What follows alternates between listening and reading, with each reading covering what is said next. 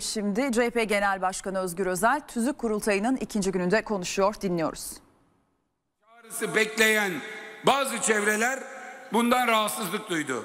Ama ben kurduğumuz ilişkinin seçmenle çok sağlıklı olduğunu hem sahadaki il başkanlarından, ilçe başkanlarından, belediye başkanlarımızdan her görüşmemizde teyit ediyorum. Ama bir gerçek var. Biz 31 Mart'ta aldığımız oyu gösterip hadi erken seçim demeyeceğiz dedik. Ama şunu da söyledik. Geçim olmazsa seçim olur dedik. O günden bugüne AK Parti ne yaptı diye bakarsanız verdiği hiçbir sözü tutmadı. Umut verenlerin umutlarını boşa çıkardı ve kendisine oy verenleri dahi pişman etti. Oy vermeyenlerin ise bize kullandıkları oydan bir pişmanlığının olmadığı yapılan bütün araştırmalarda görülüyor.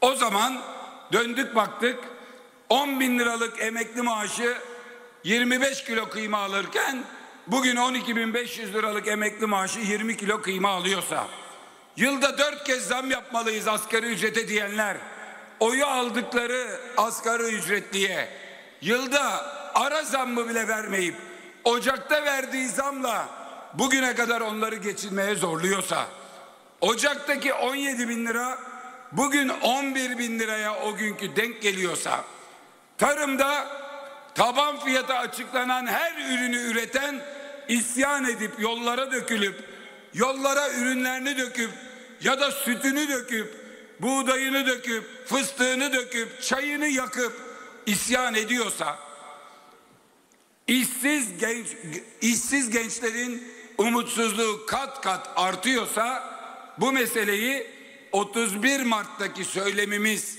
yani o oyu fırsat bilip erken seçim istemeyiz dememizle aynı kefeye kimse koymasın. Biraz önce izlediğiniz, dün izlediğiniz videolarda biz son 5 ayda 9 tematik miting yaptık. 10 miting gerçekleştirdik. Türkiye'nin dört bir yanında. Her mitingimiz daha kalabalık, her biri daha coşkulu ve tematik mitinglerde katılan her kitle bir önceki günden daha tepkili durumdadır. Ve bu durumda bizim Cumhuriyet Halk Partisi olarak geçim olmazsa seçim olur dememiz boşa bir laf değildir. Erken seçim konusunda toplumda seçimin ertesi günü yüzde yirmi beşlerde olan beklenti dün ve evveli gün gelen iki saygın anket şirketinin sonuçlarında yüzde ellileri geçmiştir. Bu şartlar bize adım adım adım adım artık bir sandığı getirecektir. Bu konuda Cumhuriyet Halk Partisi iradesi tamdır. Tüm hazırlıkları da tam olmalıdır.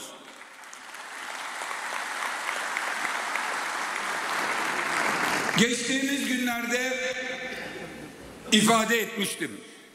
Anayasaya göre bize kalırsa geçen dönem Sayın Erdoğan kendiliğinden bir kez daha aday olamazdı. Ancak meclisin kararıyla olabilirdi. Ama Yüksek Seçim Kurulu'na yapılan başvuruda YSK açıkça geçen adaylığı ikinci adaylık kabul etti. YSK'nın o kararı çerçevesinde bugün eğer bir erken seçim olmazsa Erdoğan bir daha aday olamaz. Bir erken seçim olursa anayasaya göre son bir kez aday olabilir. Bir kere şunu söyleyelim. Bizim öyle seçimlere üç ay kala, beş ay kala milletin canını oku, dört buçuk sene yoksul bırak, aç bırak, işsiz bırak, zulmet, hapiste tut, altı ay kalmış, sekiz ay kalmış, bir sene kalmış, hadi seçimleri yenileyelim. Biz orada yokuz. Bu konuda akıllarda bir şüphe varsa net olarak söylüyoruz. Ama ama bu milletin beş yıl dayanacak gücü olmadığı gibi bizim de iktidarı dört yılda bekleyecek sabrımız yoktur. Bu gücümüzle, bu dinamimizle, bu örgütsel birlikteliğimizle birlikte millet artık Cumhuriyet Halk Partisi'nin iktidar olmasını beklemektedir. Bunun için biz şunu söylüyoruz. Gelecek sene Kasım ayı Erdoğan'ın 5 yıllık bu döneminin tam ortasıdır. İnat eder. Millet aç, sefil, yoksul, işsiz ve mutsuzken iki buçuk daha durursa asla bir daha aday olamaz. Ama iki buçuk yılı geçirmeden ben kendime güveniyorum. Çıkarım derse biz mecliste gelecek sene Kasım ayına kadar seçimleri yenilemeye, erken seçim yapmaya, bu milletin karşısına çıkmaya ve bu 22 yıllık yoksullaştıran, güvencesizleştiren, mutsuzlaştıran, özgürlükleri elden alan ve gençlerin bu ülkede yaşama iradesini bile ortadan katıldıran bu yönetimi son vermeye hazırız. Bunun için de diyoruz ki eğer varsanız eğer cesaretiniz varsa kararı bugünden alalım ya da 8 ay sonra alalım. Gelecek sene Kasım ayında seçim yapmaya, bizim karşımıza çıkmaya, bu millete gel bakalım seni kim yönetsin, bir son kararını ver demeye varsanız Cumhuriyet Halk Partisi buradadır. O seçime girecektir ve sonuç değişmeyecektir. Cumhuriyet Halk Partisi Türkiye'nin birinci partisi.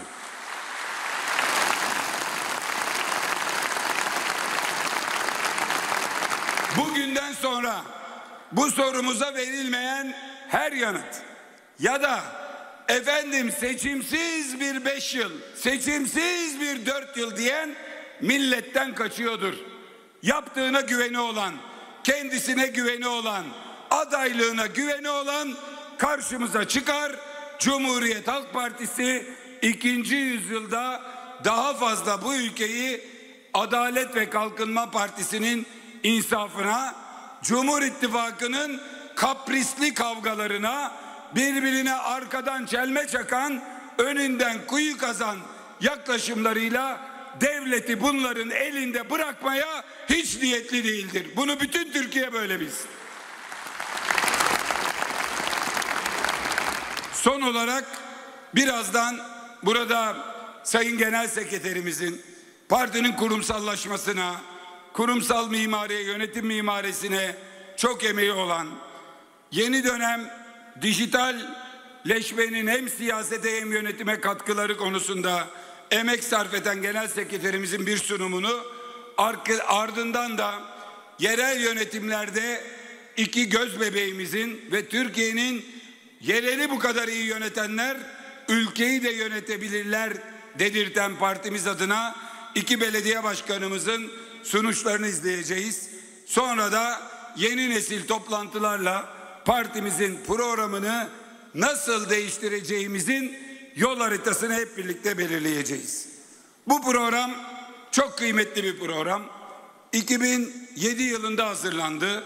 Bu program hazırlandığında Türk Eczacıları Birliği Genel Sekreteriydim. Bir telefonla ilaç eczacılıklarına yazalım dediler. O gün hakim olduğum konuya bir paragraf yazdım. Hala daha burada duruyor. Baktım son derece güzel ama o günün metni. Bu programda hiçbir cümlesiyle sorunumuz olmayan ama yaklaşık 20, 20 yıl öncenin metinleri var. Taşıyabiliriz.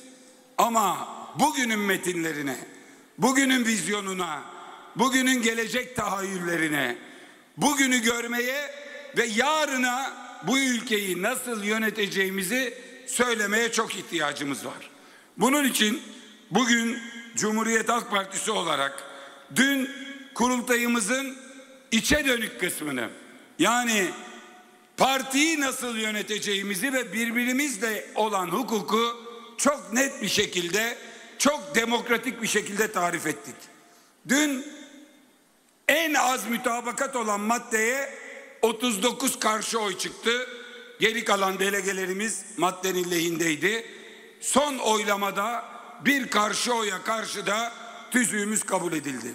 Bu süreç Cumhuriyet Halk Partisi açısından artık içerideki tartışmaların ya da içerideki soru işaretlerinin bertaraf olduğu, partinin bir ve bütün olduğu, Partinin içindeki herkesin artık partinin ülkedeki başarısına motive olduğu bir süreci teyit ediyor. Altına dün 1300'e yakın imza attık. Bundan sonraki süreçte artık birbirimizle olan hukukumuzu değil de Türkiye'nin iç hukukunu, Türkiye'nin hukuk sistemini yani sorulan anketlerde yoksulluktan ya da ekonomiden sonraki ilk cevap neden memnun değilsiniz de adaletsizliği nasıl ortadan kaldıracağımızı, mahkemedeki adaletsizliği, gelir adaletsizliğini ve tüm sorunların nasıl eşit yurttaşlık anlamında birlikte çözülebileceğini hep beraber tartışacağımız bir sürecin içindeyiz. Dün biz hep birlikte bu partiyi nasıl yöneteceğimizi konuştuk. Ama bugünden itibaren o tartışmalar zaten kendi mecrasında ve büyük bir olgunlukla sonlandı bitti. Ama bugünden itibaren Türkiye'yi nasıl yöneteceğimizi konuşacağız. Dış politikada ne yapacağız, nasıl yapacağız, hedeflerimiz nedir, yöntemlerimiz nedir onları yazacağız. İç politikada, iç siyasette, kamu yönetiminde ne yapacağımızı konuşacağız. Milli savunma politikalarına Cumhuriyet Halk Partisi nasıl bakıyor konuşacağız. Çevreye, kalkınmayla birlikte nasıl bakıyor konuşacağız. Kendi içimizde eşit temsile üç küçük adım kaldı. Çok önemli adım attık. Onu Türkiye'ye nasıl yaşatacağız konuşacağız. Tabi bu süreçte dün de bir delegemiz sordu. Cumhuriyet Halk Partisi'nin altı okundan birini boyayacak mıyız diye. O konuya da şöyle bir açıklık getirelim. Dün değiştirdiğimiz tüzükte Cumhuriyet Halk Partisi'nin ambleminin kırmızı zemin üzerine beyaz altı oktan oluştuğu tarif ediliyor. Biz her maddeyi değiştirirken dönüp o maddeye hiç dokunmadık. Hiçbir sorunumuz yok. Ama kadın kurultayında dediğim şu. Bu oklardan biri devletçilik oku. Geçmişte devlet yönetilirken nasıl yönetilmesi konusunda Cumhuriyet Halk Partili kadroların çok doğru bir fikri vardı ve haklılıkları ortaya çıktı. Devleti o dönemde son derece kamucu ve koruyucu politikalarla ama özel sektöründe önünü kapatmadan ve günü geldiğinde belli alanları onlara devredebilecek şekilde bir devletçilik yorumu vardı. Ha bugünlerde asla devredilmemesi gereken tersanelerinden rafinerilerine, Türk Telekom'undan aklınızın alamadığı en stratejik alanlara kadar özelleştirmenin yapılmış olması o günkü doğru çıkışı yani özel sektörün olmadığı yerlerde destek verme ama günü geldiğinde çocuk ayakkabısı, traktör lastiği üretmeyi özel sektöre devretme ama çekilmeyeceği alanlardan hele hele sağlıktan, hele hele eğitimden, güvenlikten asla çekilmemesine yönelik devletçilik okunun partimizce yorumu. İlk günlerdeki hareket noktası doğruydu. 1946'ya kadar uygulanması çok büyük oranda doğruydu. Devamında da CHP'nin itirazları doğruydu. Bütün itirazlarımız bugün bizi haklı çıkardı. Ama bugün eğer devleti yönetirken sürdürülebilir kalkınmadan bahsetmiyorsanız, yeşil ekonomiden bahsetmiyorsanız, sınırda karbon vergisini bilmiyor, karbon ayak izinin küçültülmesine yönelik taahhütleri ya da karbon sıfır gününü taahhüt etmiyor ya da o taahhütleri sahiplenip öne çekmiyor, geliştirmiyorsanız bu devleti bu çağda yöneteceğinize olan genel inanç ortaya genel kabul ve bu konudaki güven tam olarak tesis etmez. Kaldı ki dün önemli bir adım attık eşit temsil. Dünyada şirketlerin dahi kadın erkek eşitliği ve kadın emeğinin kullanması noktasındaki hassasiyeti ortadayken siz kadın emeğini ve kadınların toplumdaki yerini işte bırakılınca 18 bakandan birini kadın bakana aktayan bir anlayış var ama Cumhuriyet Halk Partisi'nde dokuzunu kadın, dokuzunu erkek atayan bir anlayış var. O yüzden devletçilik okunu yapacağımız programla yarısını mora, yarısını yeşile boyayacağız derken buradaki iradeyi, buradaki bakış açısını, yürüyeceğimiz yolun bizi vardıracağı yeri söylüyoruz. Yoksa okun rengi dündü ve kırmızı üzerinde beyaz kaldı. Kimsenin ondan bir şüphesi olmasın. Ama devleti yönetirken yeşilin ve morun, eşit temsilin ve çevreye duyarlı sürdürülebilir kalkınmanın sonuna kadar savunucusu olacağımızı da bu politikalarla birlikte bu Türkiye'yi bir dünya ülkesi yeniden yapacağımızı da buradan partinin genel başkanı sıfatıyla bir kez daha kayda geçirir ve teyit etmek isterim. Bugün dört büyük salonda demokrasi ve adalet, sosyal refah, kapsayıcı kalkınma, dış politika ve ulusal güvenlik ana başlıklarında 86 alt başlıkta yol haritamızı konuşacağız. Ne yapalım? Nasıl yapalım? Nasıl yapılar oluşturalım? Bu yapılar yurt dışında, yurt içinde nasıl temaslarda bulunsun? Hangi akademisyenlerle, hangi gruplarla, hangi akademik çalışmalarla bu işi zenginleştirelim? Örgüt akademi bağlantısını nereden kuralım? Siyaset, toplumsal yaşam ilişkilerini bu süreçte nasıl düzenleyelim? Hepsini birlikte konuşacağız.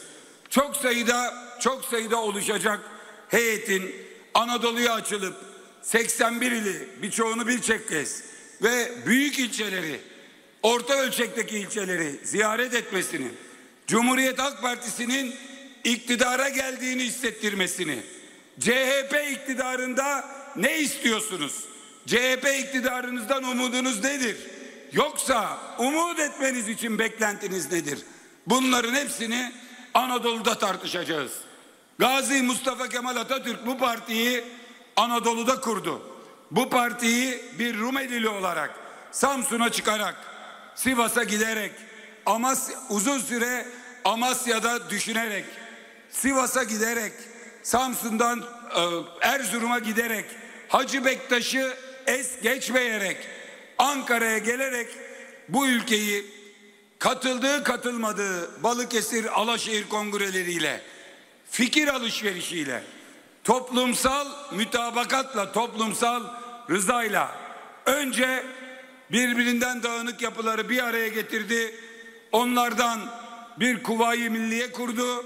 Sonra o yapıları fırkaya, sonra partiye dönüştürdü. Şimdi 100 yıl sonra yeniden Anadolu'ya ve Trakya'ya gidiyoruz. Çalmadık kapı, sıkılmadık el, duymadık fikir bırakmayacağız. Onların ötekileştirdiklerine de sahip çıkacağız. Ama bizden olmayan bir tek kişiyi öteki ilan etmeyecek. Kenarda bırakmayacak. Fikrini duymadan, elini sıkmadan ve onunla bir mütabakat aramadan geri dönmeyeceğiz. Bazen elimiz havada kalacak. O havada kalan ele sarılacağız. O eli itmeyeceğiz. Havada el bıraktı diye küsüp gitmeyeceğiz. Kazanacak 83 milyonun kalbini kazanacak, geride bırakacak bir kişinin olmadığının bilincinde olacağız. Belki günü geldiğinde o kişinin yine oyunu alamayacağız ama bizim iktidarımızda onun geride kalmayacağını ona değilse de şimdiden kendimize taahhüt edeceğiz. Bu bakış açısıyla bir büyük yürüyüşü hep beraber başlatıyoruz. Gazi Mustafa Kemal Atatürk'ün partisini bir kez daha talep toplamak üzere nasıl yapalım? Ne şekilde yapalım? Gel birlikte yapalım diyerek Anadolu'ya ve Trakya'ya taşıyoruz. Daha sonra onlardan aldığımız görüşlerle çok gecikmeden işte partimizin bu kez bu tüzüğünü partimizin tarihi belgeleri içindeki hak ettiği onurlu yere bırakıp elimize bu, bu programla çelişmeyen, tüzüğümüzle uyumlu, hepimizin mütabık olduğu ve çağı yakalayan yeni bir programla çıkacağız. O programdan sonra da topladığımız talepler ışığında bu kez kendimizi milletimize bir kez daha arz edeceğiz. Hepinizin elinde o program ya da o programdan üretilmiş, türetilmiş her sorunun net cevabının olduğu. CHP bu konuda ne düşünüyor dediğinde bir saniye yutkunmayacağımız, hiç tereddüt etmeyeceğimiz çok kuvvetli bir yönetim belgemiz olacak. O belge günü geldiğinde seçimde partinin seçim taahhütnamesine dönüşecek. Partinin seçim programı olacak. Günü geldiğinde seçilen Cumhurbaşkanımızın elinde okuyacağı hükümet programına dönüşecek. Parti grubu da gelecekte 29. dönem CHP grubu da neyi savunacağını, nerede duracağını ve nasıl duracağını bilmenin özgüveninde olacak tüm kafa karışıklıkları, tenakuzlar, çelişkiler, birbiriyle çelişen ifadeler yerini ortak mütabakat metnimize bırakacak. Ben bu kürsüden şimdi inerken gönlümden geçen 6 ay sonra 8 ay sonra ama en geç 10 ay sonra bir kez daha burada program kurultayımızın açılış konuşmasının yapacak olmanın umuduyla mutluluğuyla ve o gün bugünden farklı olarak her birimizin geçmişten biriktirdiği 6 8 10 aydır biriktirdiği deneyimlerle somutlaşmış, taslaklaşmış söylemleri tartışmak üzere bir büyük kurultayı açmak üzere buraya gelmeyi umuyorum.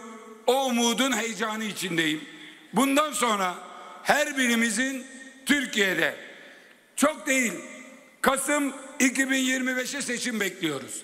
Kasım 2025'ten sonra Türkiye'yi yönetecek bir partinin ilçe başkanları, il başkanları, delegeleri ve belediye başkanları olarak memleketlerinize dönmenizi, bu özgüvenle bakmanızı, herkesle temas kurmanızı, bugün geliştirilecek pratiklerden bugün geliştirecek yol haritasına kurumsal uyum sağlamanızı ve kişisel gayretinizi bir yıl boyunca en üst düzeye çıkarmanızı bekliyorum.